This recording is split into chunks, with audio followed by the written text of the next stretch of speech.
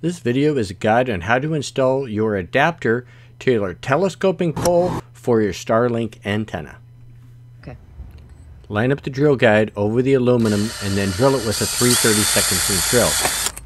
Or use the included self-drilling screw to drill the hole and then back the screw back out again. Insert the adapter into the aluminum tube and then line up the holes. Screw in the self-drilling screw through the aluminum and into the plastic.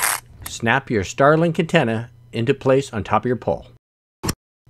See the video description for links on how to purchase the adapter on Etsy or eBay. The adapter is 39.4 millimeters in diameter and is designed to fit inside the top section of an adjustable pole, which is 40 millimeters in diameter.